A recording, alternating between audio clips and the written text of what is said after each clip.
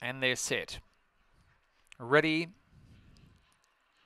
Racing. Dawn of Time came out quickly, also showing early speed was Shinbone Levi. Hunting up across from out wide was Oh Please Party Dash up on the inside, then followed by Eternal Fun. Well back, 10 till 5. Financial Ruins on the corner. Shinbone Levi is nicely clear of Dawn of Time. Start number 50 for Shinbone Levi. Breaks through, wins by six lengths. Second, Dawn of Time or Party Dash in a photo. In behind them, next of all, is Eternal Fun along with Oh Please. Well back was Party Dash along with Running runs on gas and 10 till fire, one of the last in.